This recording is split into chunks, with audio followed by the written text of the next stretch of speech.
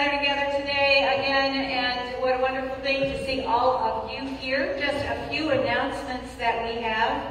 Um, the first is please remember that uh, we do take attendance using the cards that are in the pews, so please fill one out and make sure that it goes into the basket on your way out. There's a basket sitting just outside the exit door. As well, if you have a prayer request, fill out one of those blue prayer request cards, and if you would like that your request included in today's prayers, wave in the air. One of the ushers will come by and pick that up. If you would simply like it added to the bulletin for next week, we can certainly do that. Please just go ahead and put it in the basket with your attendance card on the way out today. We are still not passing offering basket, and so if you brought your offering in rather than dropping it in the plate on the way in, you can also place that in the offering basket. Uh, for those of you who were in the early service, you are aware of this, but for those, of, I'm not early service, but on the study in between services, I just want to point out and welcome uh, George and Marilyn Sorensen are visiting, and they are here today, and so we welcome you. We're very, very happy to see you. Few announcements that I would like to lift up this morning. Take your bulletin home. It has others in it and it has details. Mark your calendars. We've got a few things coming up. It might be summer, but we are still active, maybe not quite as busy, but still active here and have things coming up in July. And one of those things, um, I was this was passed along to me just a short while ago, but July 4th is not just Independence Day, it is Martha Lefever's and so we are suggesting a card shower for her. She is still at Pleasant View, probably will remain there. She will be 77 years old on the 4th, so please place that in your file of things to do. Um, today we will have a celebration of life service for Lynn Eisenhower. For those of you who have been coming to the service for a while, you know that Lynn, you know Lynn as our drummer. Um, he passed away rather suddenly and unexpectedly two weeks ago, at 2 o'clock this afternoon, we will join with the family here at Zion for a celebration of life and prayer, and then there will be uh, a great reception in the fellowship hall with some food and some, some drinks for folks to offer further condolences to the family and connect with them. Communion practices changed this week again. They are optional again. If you, if you picked up the free uh, packaged elements on your way in, you may stay in your seat. Uh, the other option is coming right forward to the altar where you may stand if that's how you are more comfortable receiving, or kneel at the rail. And so at the appropriate time, we will make that announcement and you will be welcome to do whichever uh, you are most comfortable with. We are maintaining masks. Next week they become optional, uh, but today let's go ahead and continue wearing them, except for when we are singing, both this week, next, and moving forward. For a while, we will ask you to maintain masks when singing. Next Sunday, this service, weather permitting, will be outside. So our outdoor worship resumes the first Sunday of every month, July, August, September, October. If it is, of course, threatening rain or storm, or if it is raining, we will move back inside.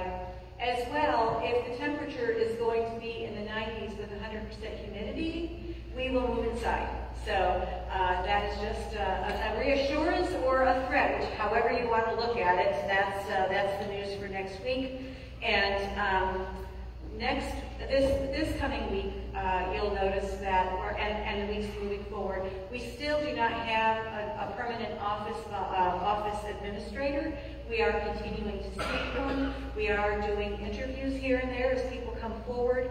Um, but in the meantime, we do need help with volunteers in the office. We have a cadre of volunteers who do help uh, but in order to relieve them a little bit and also just kind of expand our volunteer force, if you are able to help, the office hours are Monday through Friday, 10 to 2.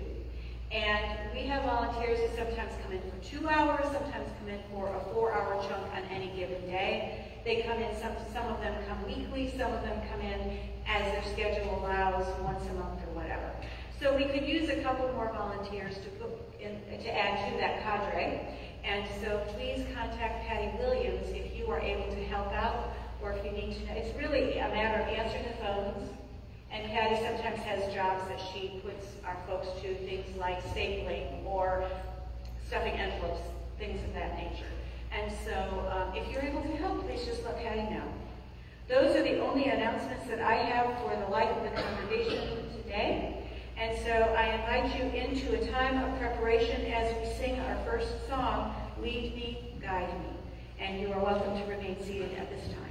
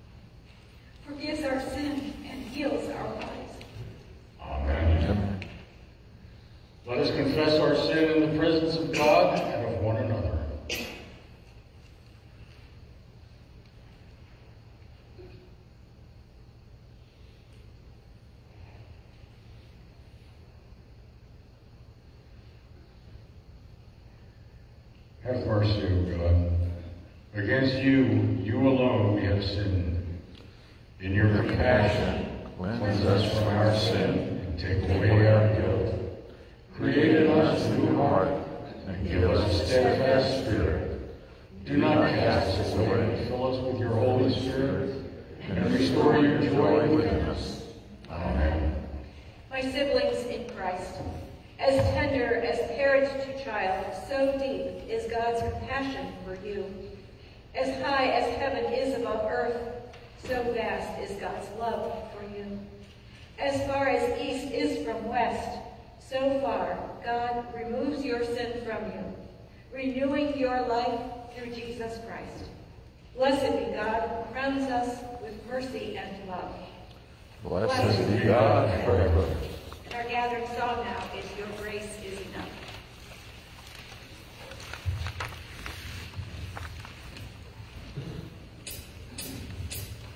Your grace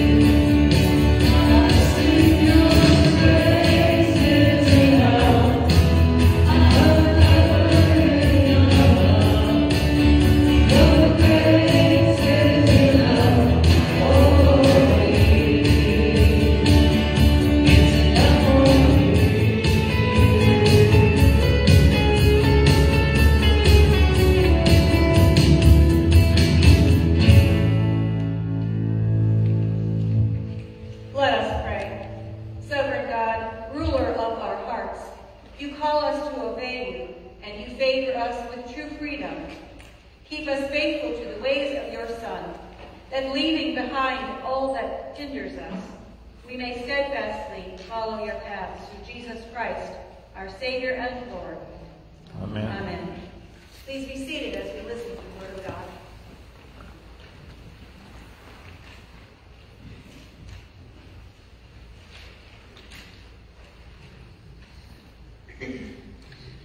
Reading is from the book of 1 Kings, chapter 19, verses 15 and 16 and 19 through 21.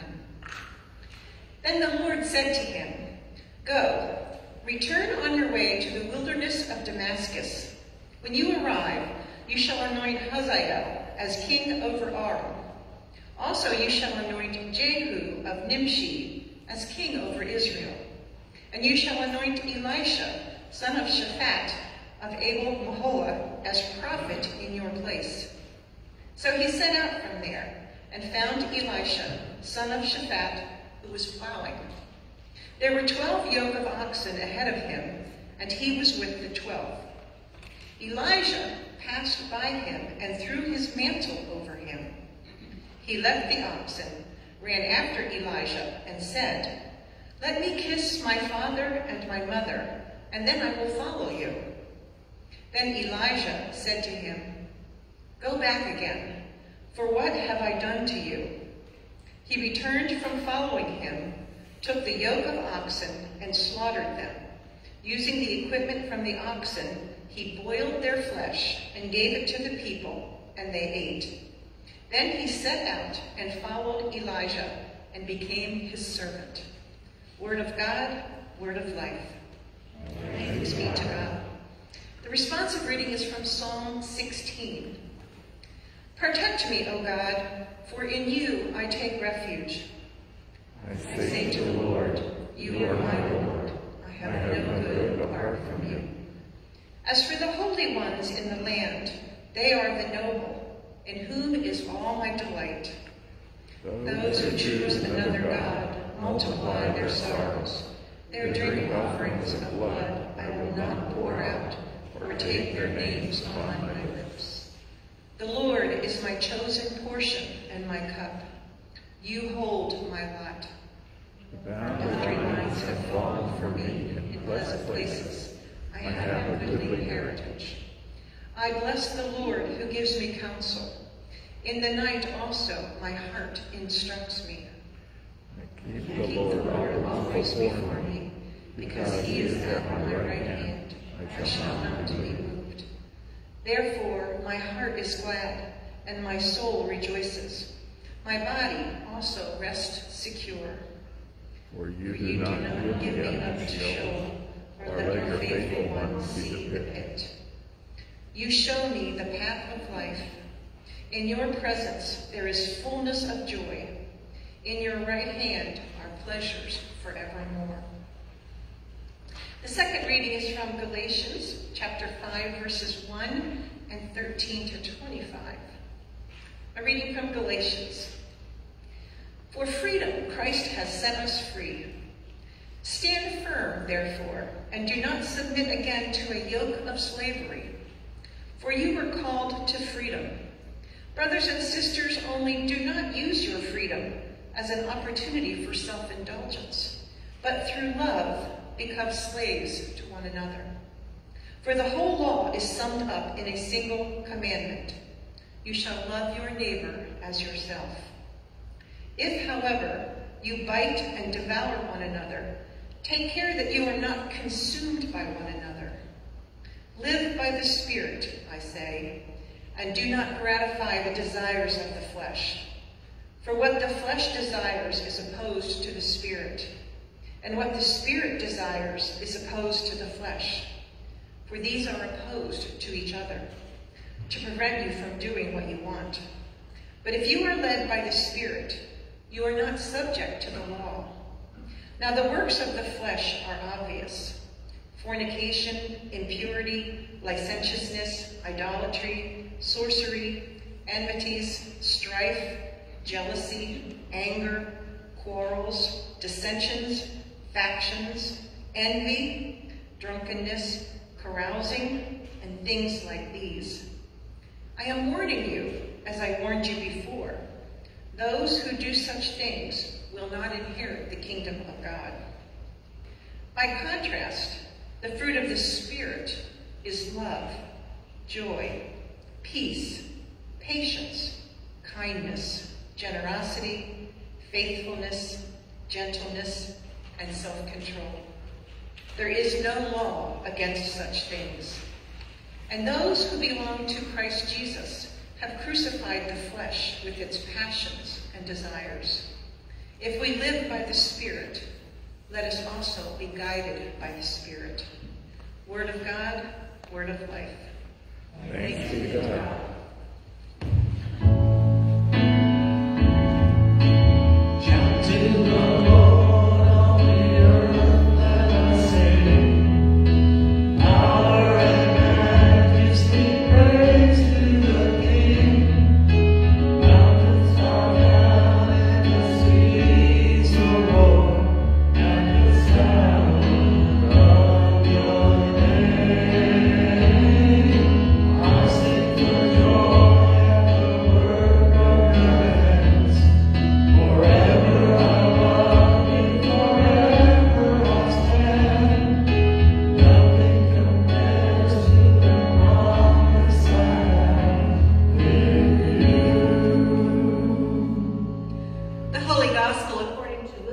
ninth chapter.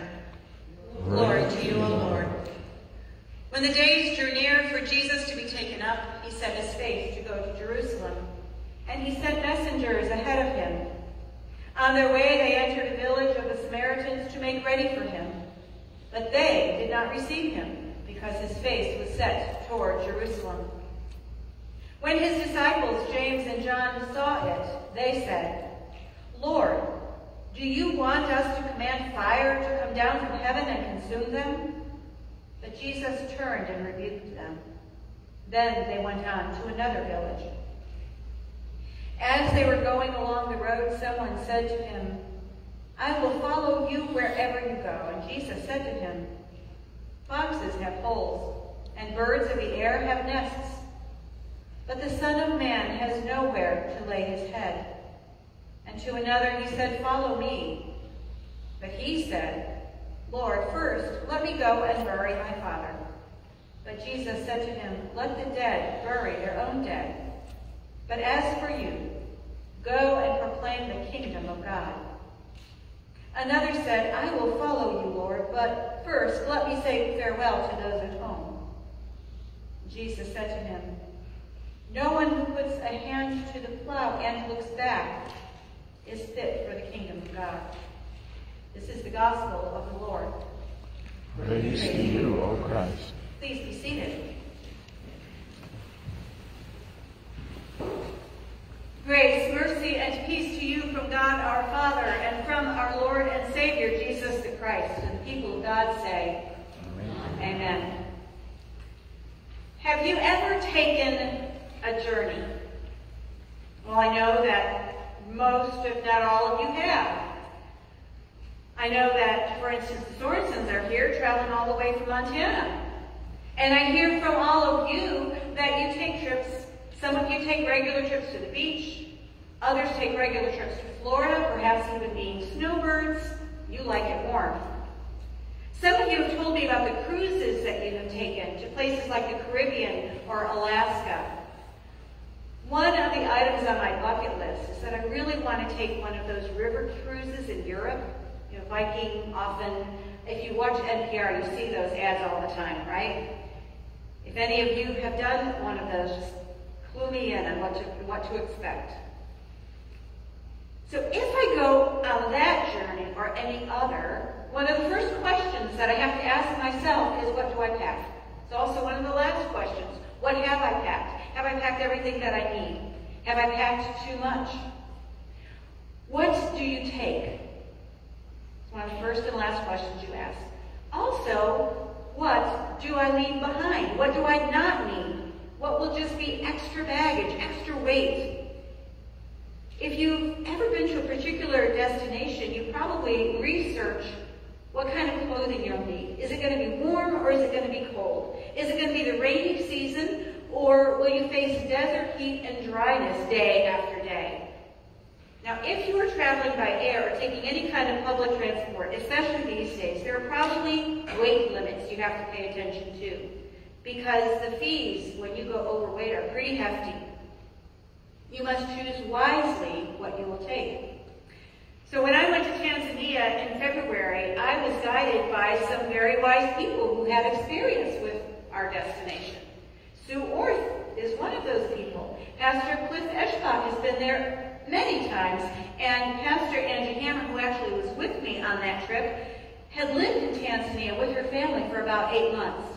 So they were able to give us a lot of wisdom and a lot of guidance for what we should take and what we should not take.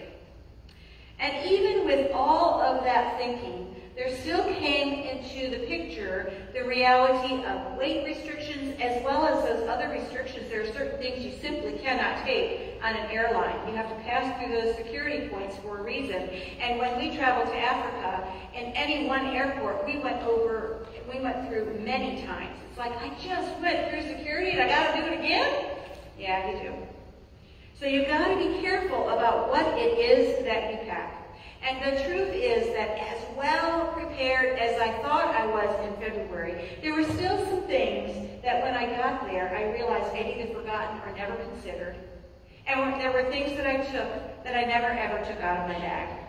It's just kind of the nature of things. Well, today's gospel begins Luke's account of a particular journey, a journey that Jesus took. That's what it means when the text tells us that Jesus set his face toward Jerusalem. He was on his way to Jerusalem, his divine destination, for his divine destiny. So important is that journey that Luke will now take 10 chapters to tell about what happened along that journey. And over the next 19 weeks here at church, week after week, we'll take apart little bits of that journey and we'll hear about what happened.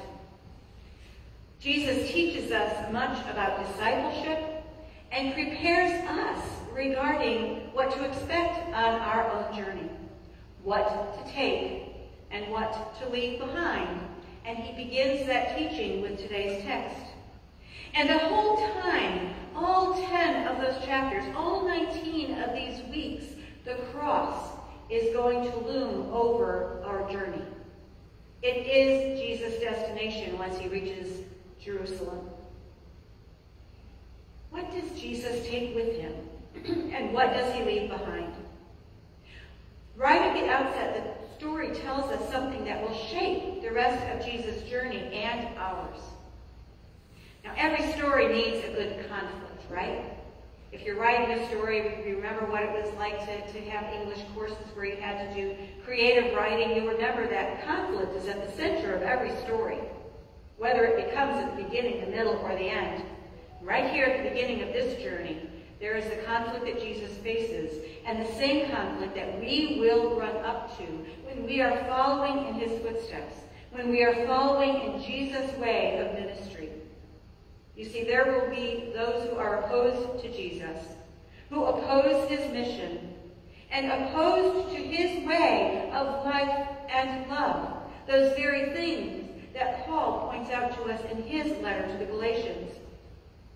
Now, in this text, when Jesus runs into opposition at the start of his journey while passing through Samaria, his disciples, James and John, as good-hearted and as faithful and loyal to Jesus as they are, well, they want to take care of the, the problem and they want to go into battle. They are ready to fight off the offenders, those who rejected Jesus. They are ready to rain fire and destruction upon the Samaritans for their rejection of Jesus. These sons of thunder, as Mark calls them, are ready to do great damage in order to defend the honor and dignity of Jesus. But you know what? Jesus doesn't need them or us to defend his dignity, to defend him. You see, his divinity is what shapes him, and his divinity is secured, made that way by God the Father. And Jesus has places to go and things to do, and he must remain focused on his goal. Nothing is going to distract him from reaching his destiny, from fulfilling that which the Father has asked him to do. And so, when you journey with Jesus, we might ask the question, what do we have? We've never quite been on that kind of trip before. It's certainly a unique kind of trip. And it seems that James and John kind of got this part wrong because they brought with them their prejudices and their judgments and their desire to invoke divine wrath on anyone who fails to fall into step with Jesus. What they could not see is that in so doing, they were exactly opposite, diametrically opposed to everything that Jesus said and stood for and everything that Jesus did. You see, Jesus packed for divine purpose. Jesus packed with love and mercy, patience, things like that. And Jesus left behind hostility and judgment, hatred and revenge, and any thoughts of those things. Jesus knew that there would be conflict. He knew that there would be those who accepted him and those who rejected him, sometimes violently so. There would be those who followed him and those who wanted to throw him off the cliff. Jesus chose the better way, and he moved on. This Jesus, whose cross looms over the entire story, is radical. His behaviors, particularly his acceptance of those rejected by others, set him apart. He was too liberal, too accepting, too loving, too weak. And true followers of Jesus, my friends, you and me, we're going to be labeled the same way. We are going to be judged the same way. We will have the same kind of opposition against us when we truly follow in Jesus' way of love and mercy. Throughout the millennia, the followers of Jesus have been rejected. They've been abandoned by family and friends. They are seen as too weak, too unrealistic, too radical, too liberal, whatever you want to label them with. They're too much like Jesus. And there are some in the world that see that as not a good thing. But the beautiful thing is that Jesus is simply illustrating the way that God gets involved in everyday human affairs, challenging and loving, calling and saving, constantly on the move, constantly moving redeem the world. No one will put Jesus in a corner, or box him in, or distract him from his purpose, changing his focus. So again, what do you pack when you follow Jesus, and what do you leave behind? I think it is probably safe to say, after listening to this gospel, that fire from heaven is something we can leave behind. Our need for acceptance from others and approval of others is something we should leave behind too, my friends, because like Jesus, we can expect disapproval and rejection, what we call today pushback, when we follow in Jesus' footsteps. Our vision will be denounced, often vehemently, when we follow Jesus into the fringes of human experience and life and reach out with love and embrace and accept those others would label and reject and kill. But the thing is that none of that will matter we who are sinful yet sainted by the love and forgiveness of Jesus will not be kept from proclaiming his glory. We who are worthy to be judged, but are instead freed by the blood of Jesus, will truly accept and love those whom the world rejects. We who are the misfits, we who are the rejected, the lonely, the despised, will recognize those who are similarly judged by the world to be beloved of God, and we will honor them and we will protect them. James and John illustrate in this text the hard lesson that all too often godly people will raise terrible ideas and disguise them as piety. They don't mean to do so, but they do.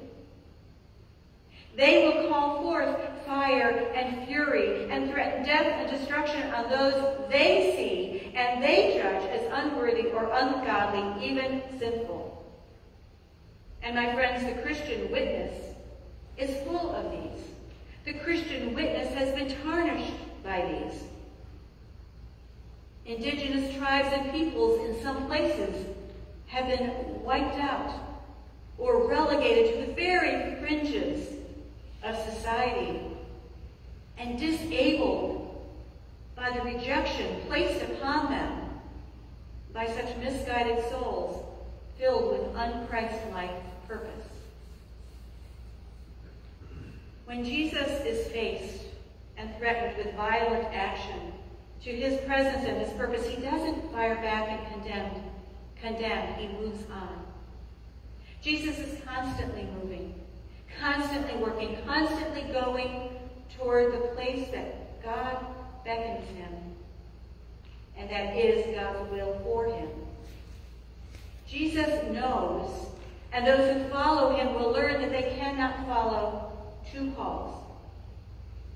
We cannot pursue our very human tendency to be liked and accepted while at the same time committing ourselves to walk the way of Jesus, following the will of God, walking in the way of love and mercy and forgiveness and reconciliation, bearing our hearts and our souls to love as Jesus loved.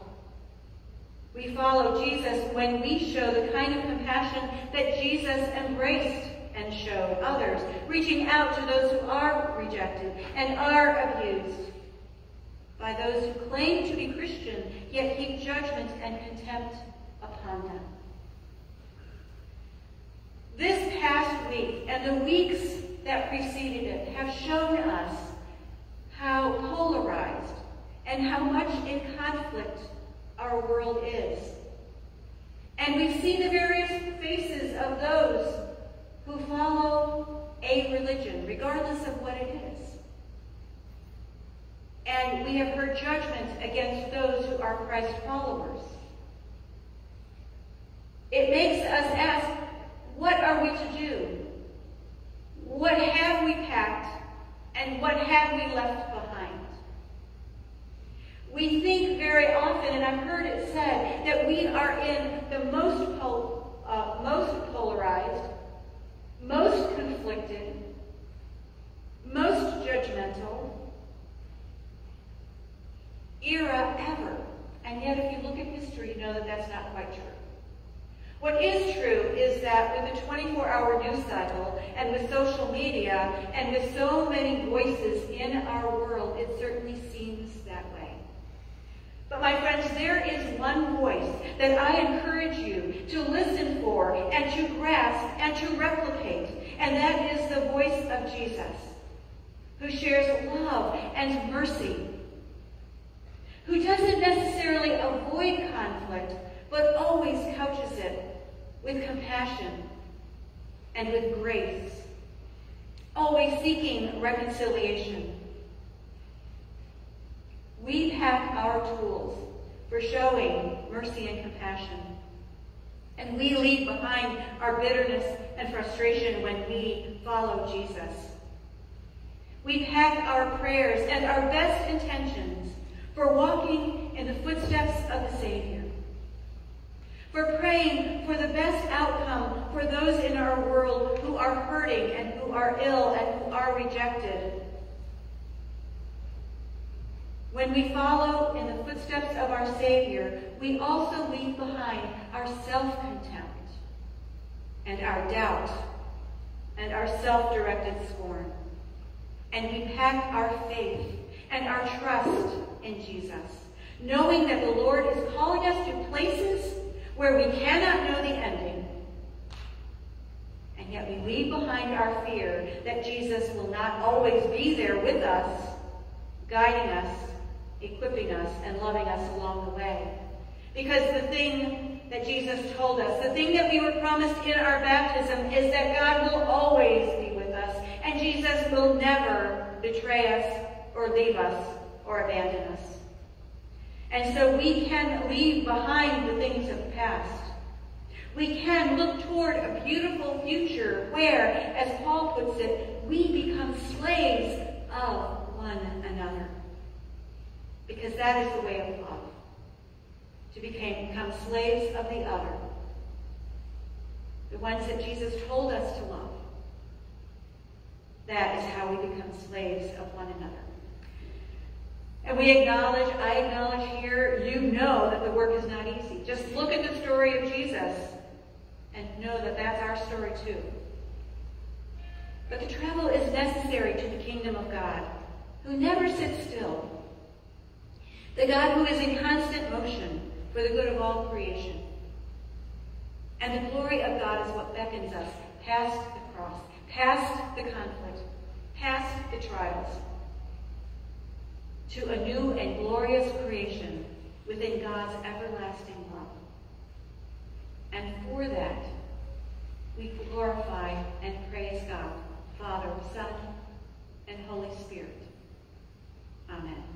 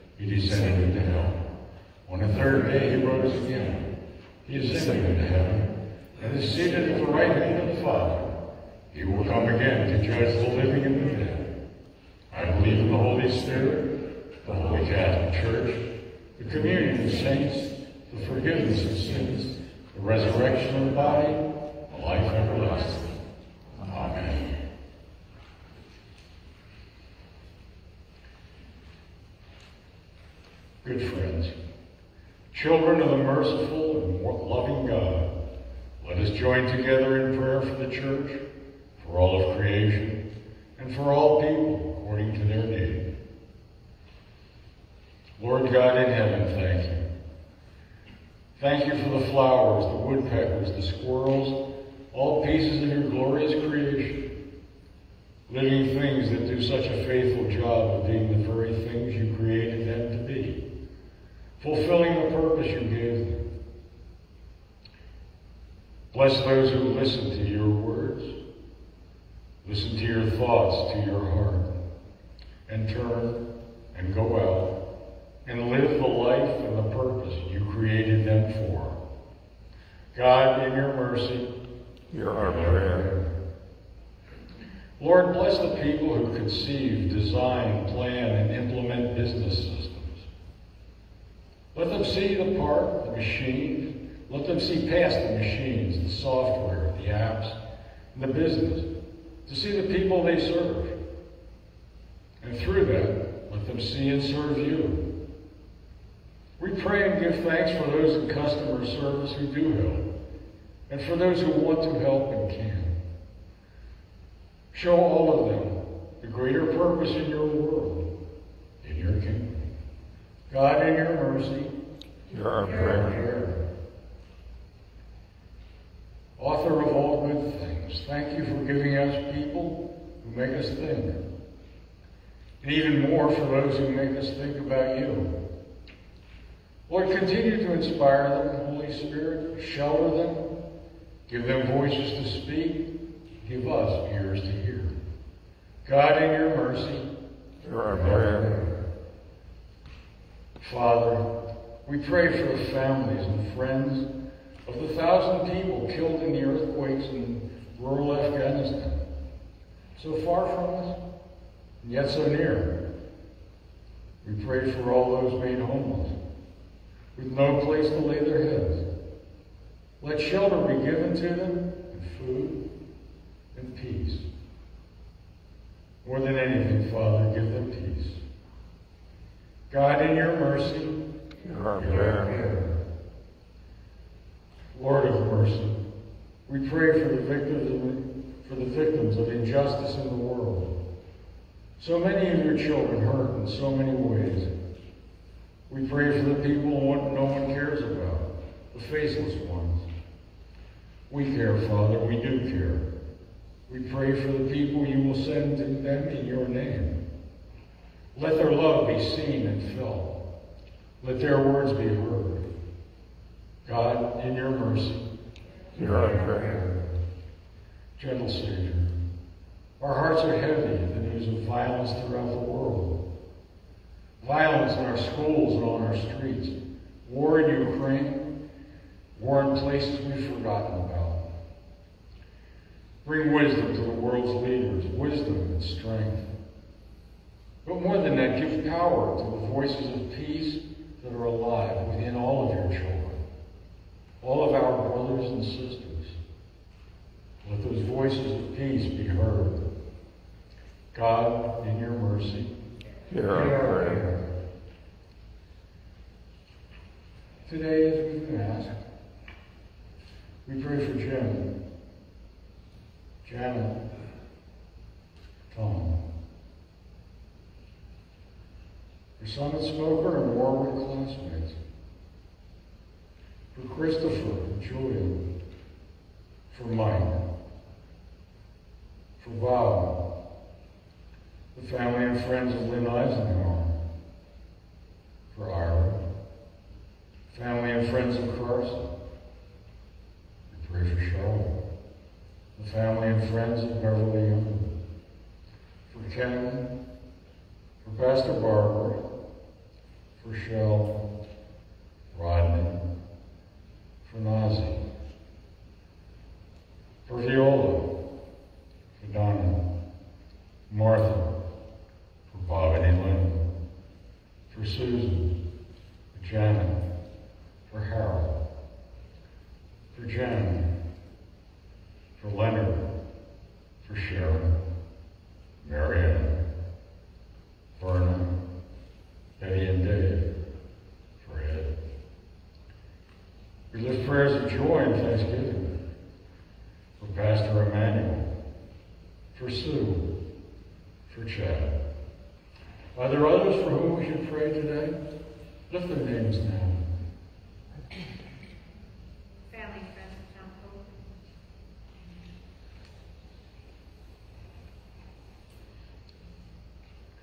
Trusting in your mercy and love beyond measure, we ask for these things and all else that we truly need.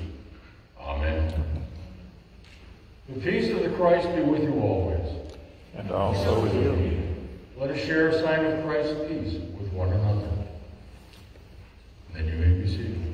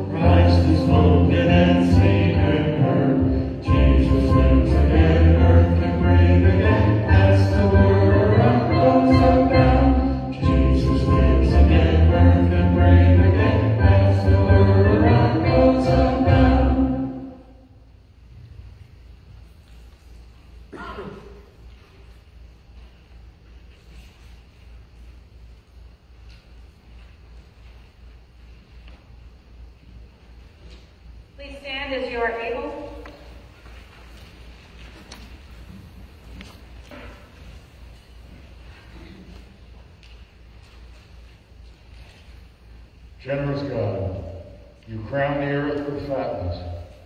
You provide for your children in all ways, and give us the means with which to share with from your bounty. And it's the will and vision to respond to your generosity One in and gratitude through Jesus Christ and in his name. Amen. The Lord be with you. And also with you. Lift up your hearts. Lift them to the Lord. Let us give thanks to the Lord our God. It is right to give our thanks and praise. All praise to you, glorious God of grace. Throughout the ages, you have blessed us with foremothers and forefathers of the faith. Through them you have worked, taught, promised, and saved. We remember Moses and Miriam as we celebrate our escape from the foe, remembering Jacob and Abraham, Sarah and Ruth. We bless you for your gifts of life, family, and blood. We honor the words of your prophets, Isaiah, Deborah, and the rest. With Hannah and Mary, we magnify your name. My soul proclaims the greatness of the Lord. My spirit rejoices in God my Savior. With Martha and Mary and all the disciples, and with all those you have ever broken bread with, we thank you for this body which you have broken and this blood which you have poured out, which has become for us our salvation. You gather us around the table today, united with your children from every place where, where believers assemble, as we join Jesus for this supper through his invitation. And the night before he died, Jesus took bread, gave thanks, broke it, and gave it to his disciples, saying, Take and eat. This is my body given for you. Do this for the remembrance of me. Again, after supper, he took the cup, gave thanks, and gave it for all to drink, saying, This cup is the new covenant in my blood, shed for you and for all people for the forgiveness of sin. Do this for the remembrance of me.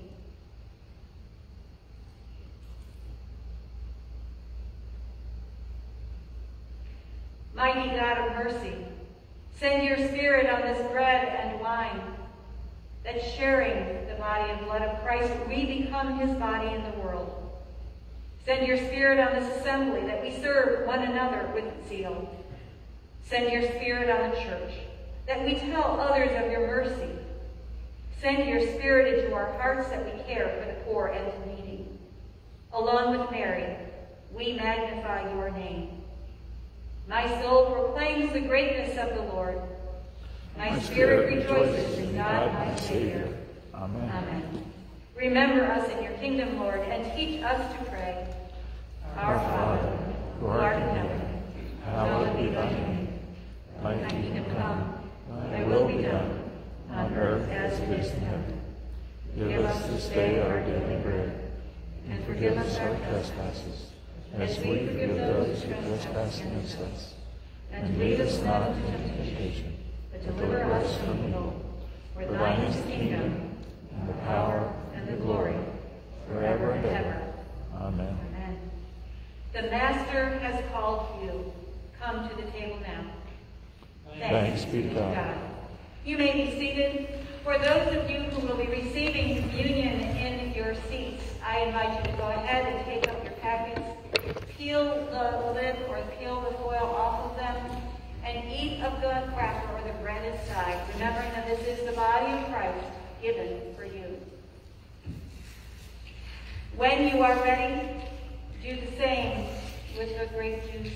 And as you drink it, remember that this is the blood of Christ shed for you. And now I will invite all of you who are coming forward to go ahead and do so. You don't have to wait. Well, I guess the usher is ready. Okay, go ahead. Um, and uh, Norm will let you know. Um, we'll release you by, by row and just come forward. There are empty cups for grape juice and filled cups for, I'm sorry, I reversed it. Empty cups for wine and full cups for grape juice. Go ahead, pick one up, come to the rail, and either stand or